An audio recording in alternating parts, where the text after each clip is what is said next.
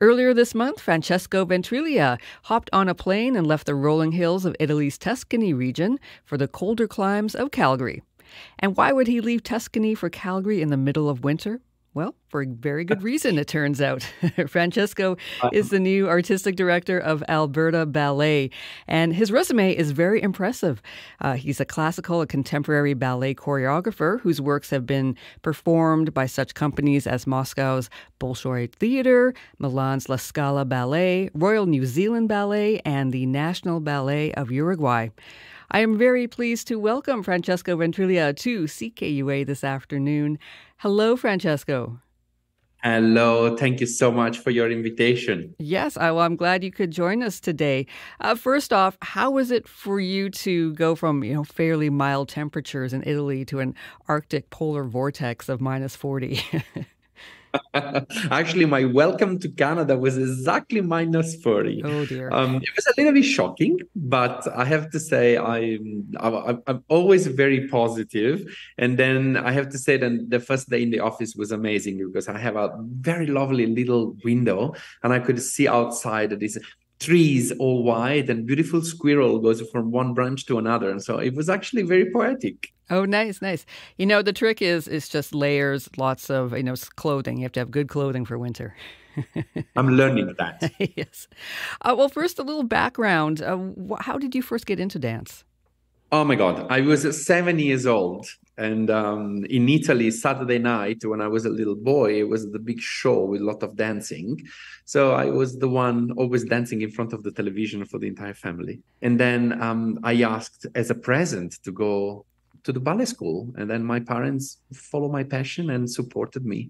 And then um, at the age of 11, I went into um, La Scala Ballet School and I started my professional career. Oh, great, great. So it's been mm. uh, a passion of yours for a long time now. Ah, yes, yes, yes, yes. I'm 45 now. And so then after like a 20 years in the in La Scala Ballet Company, I you know, I started to be a choreographer and things moved quite positively for me. And then I was invited in in famous theaters to create and my ballet were very well appreciated. Oh, and then at the age of 31, I was appointed artistic director for the Florence Opera House and there my life changed again because I moved from the, J, the from the stage to the, the leadership, mm-hmm. and I really appreciated the new role. And then you know I started to discover what was on the other side of the stage. Had you heard of Alberta Ballet before their search for a new artistic director? I did actually for many years because finally enough, um, when I was 19, immediately after the graduation of La Scala Ballet School in Milano, I was chosen by a Canadian choreographer called Jean Grand-Maître mm-hmm. to dance one of his ballet. So my predecessor here was the first choreographer I danced as a professional ballet dancer oh, at wow. La Scala.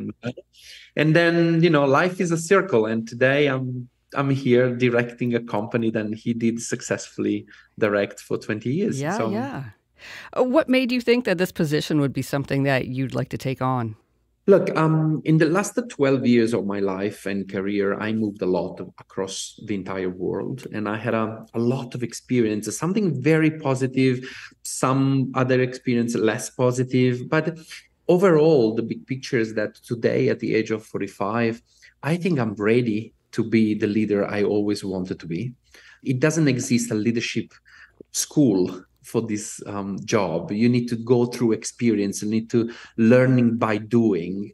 And i think i've done a lot. And today i feel ready. So then when i saw the advertising and then alberta ballet was looking for a new director i i felt ready to be that leader and i found the company very attractive because they have a you know the company has these gorgeous dances um, there is a ballet school is an amazing organization so then i thought it could be a great place to grow some some great project for the future now, in February, Alberta Ballet is holding its winter gala in Calgary and Edmonton. What have you been putting together for this event?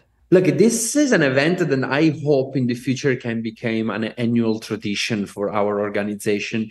Is a night on, is a one night only where the school and the company join force together in one show, and then we have this defile from 100 students from our school, and then they pass uh, the stage to our principal and soloist dancers in the company. Then they go into this extravaganza of the most beautiful classical repertoire from Don Quixote to Swan Lake to um, Flower Festival.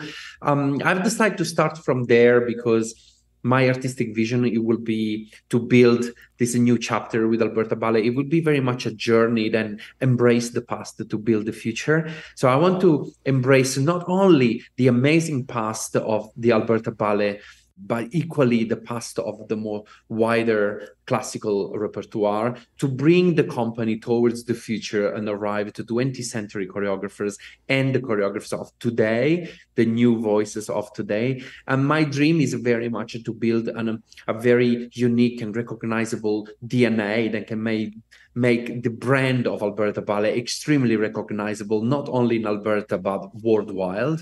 I want to create a, a, a repertoire that is ours and is um, Alberta Ballet made. Right.